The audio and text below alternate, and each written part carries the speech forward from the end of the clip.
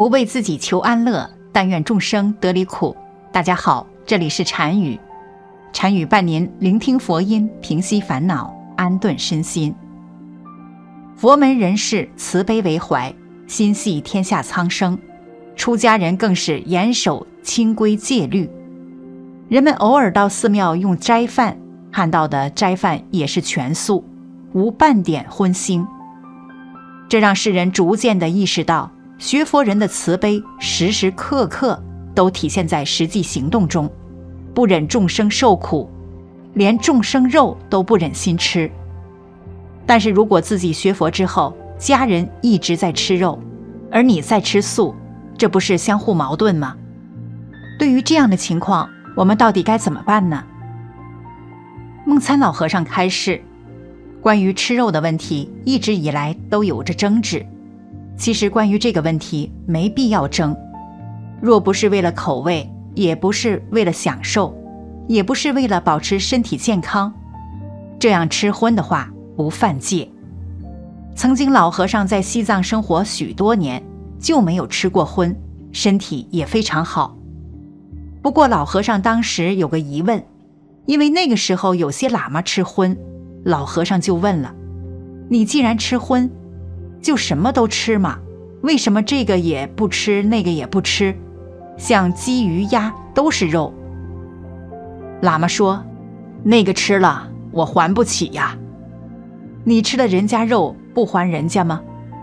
一头牛好几百斤，不是我一个人吃的，大家都吃的，我还他几口就行了，我也不要还他的命。他知道因果，他吃的时候。”没有贪欲心，没有说这口味好，像我们煎、炒、煮、炸，味道不对还要发脾气。你在理上明白了，在事上你可以自己处理。从这里可以看出，我们的贪欲心其实很重，这就是我们吃肉与喇嘛吃肉的不同。虽然到了如今，有着越来越多的佛弟子倡导这样的观念。积累自己的福报，不杀生，不吃肉，但是这就会面临一个问题：家里人会吃肉，而你吃素，往往这就会引起家里人的不和，引起矛盾，导致许多人就认为学佛是迷信。因为很多佛弟子为了自己的信仰而去争论，说吃肉就是不好，去证明自己是对的。然后让自己的家人也吃素，不管他们的意愿。虽然佛弟子的初心是为了家人好，但是方法用错了。实际上，这样与学佛思想背道而驰。因为佛学讲究不能有执念，不能有私心。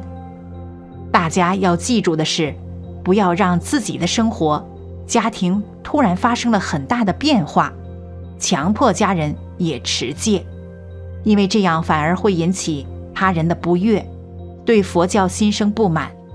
为此，老和尚就提出以下方法来解决：首先，你要发心度别人，随顺别人，这不算犯戒，一定要懂得。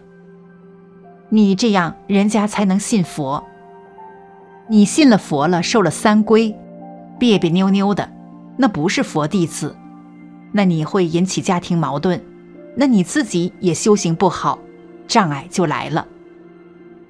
发菩提心要将就别人，随顺众生，不是让众生都随顺我，这办不到的。发了菩提心，要使你身边的人、家庭、亲友，让人家看到，佛弟子就是不同，什么事都让人，都帮助别人。宁可自己吃亏，宁可受抱怨，绝不伤害人。这点大家一定要注意。往往我们受了三规五戒的道友，回家去，马上家庭就起纠纷了，这是不对的。现在我们是佛弟子，佛子是做什么的？是帮助别人的。如果你受了三规五戒了，连你自己家庭都处不好，你还能去化众生去？还能渡别人去，先把家里人渡了，经常随顺别人，慢慢转化他，不要着急。什么是忍耐？过去爱发脾气，这一受三规五戒，不发脾气了，非常柔和。那你太太看了，我先生变了；或者你是女众，你先生看了，我太太变得这么好，他就信佛了。咱们受三规五戒的目的，除了自己修道之外，还帮助别人。第一个就是要行菩萨道。你连你家里人都处不好，你菩萨道怎么行啊？诸位道友受了三规五戒，第一个就是家庭要和好，劝你家里人都能信佛，因为你受三规五戒，并不代表你家人都信，这个特别要注意。因此，只有自己认真修行，潜移默化地影响他们，或者家里人在吃肉时。也可以念诵往生咒，念六字大明咒，念地藏菩萨灭真言咒，然后长此以往，家里的人看到你念佛有着如此大的功德，自然而然也会受到影响。举一个例子，就比如刘德华夫妇，此前刘德华也吃肉，而他的妻子一直坚持吃素十五年，后来刘德华知道了吃素的原因之后。也慢慢的开始受到影响，最后这一家人也得到了很大的福报。倡导吃素的两个主要原因：有的初学佛的人刚刚学佛，总是禁忌这个禁忌那个；有的人问，我现在学佛了，每天都诵经念佛，但是仍然断不了肉食，这样诵经念佛还有功德吗？将来能不能？生极乐世界呢？梦参长老说，是有功德的，也能往生西方，但是怎么样用心了？你能不能达到一心？在你吃肉的时候，你要是做观想吃众生肉是不对的，没有大慈悲心。你要用另一种观点，一个随缘，一个做观想，一个给他用说法的布施。你用法说说他，你给他回向，《无量寿经》、《观无量寿佛经》、《阿弥陀佛经》都没有说吃肉不能往生，但是我们要晓得，佛为什么教我们不杀生？佛法是慈悲为本，方便为门。但是话说回来，如果自己都不是那么想做，找个借口，经上没说，反正不吃素也没有问题。那我就别吃素，肉滋味不错，反正吃点儿也不会障碍往生。你这样想，这是你贪图享受。贪图享受的那个心，本来就不是真意愿去往生的心，你怎么能往生？信愿不具足，所以总在你自己的心，你自己检查检查，到底是我真想吃肉，还是不得已？家里人都吃肉。逼着我也要吃肉，我是没办法陪同家人吃一点。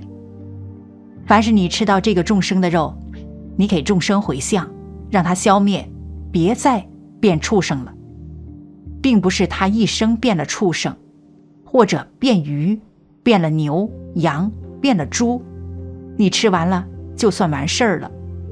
他生生要变的，杀了他，把肉还了，他又去变猪去了。不是一次就完了。你要这样给他回向，使他解脱，别再这样轮转了，跟他结个缘。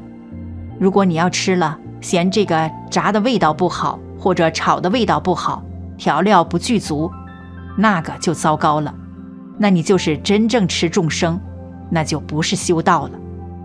怎么样善用其心？其实最初的规定是僧人不得吃葱、姜、蒜一类。气味辛窜，佛家尚有可食三净肉之说，必须吃素是始于南北朝时代，南朝的梁武帝的提倡，才在汉朝佛教内普及的，是汉传佛教的特色之一。藏传佛教因其地理环境条件限制等等原因，其僧人除了某些发誓终生不吃肉的高僧外，也都有吃肉的习惯。佛教倡导食素的原因：一，为了培养我们的慈悲心。众生分为有情类和无情类，一般我们将植物归为无情类。动物因为具有贪生怕死、有痛苦而属于有情。说植物也有感情，是我们悲心体现。如果过于悲戚，反而落入自心悲魔中，无法解脱。我们不能超越人的层次来演绎法义，在天界中以意为食，在禅定中今夜遍满。有的鬼神以精气为食。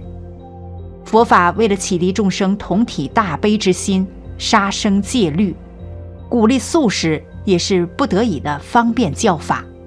只因我等心慧未开，不明因果。若明因果，自然收敛，何用劝化？二，食素使人神清气爽，头脑清醒。吃肉鸡油腻过多，会使得消化不良，气行不畅。头脑晕迷，不利参悟修为；而蔬菜一类则不至于于此，故而提倡食素。实际上，吃不吃素和信不信佛没有很直接的关系。汉传佛教坚持吃素，是汉传佛教的传统习惯。内心拥有佛教里面真正的戒律和因果，有着一颗真正向善的心，才是更为重要的。目中有人。福报多，口中有德，助缘多，心中有佛，欢喜多。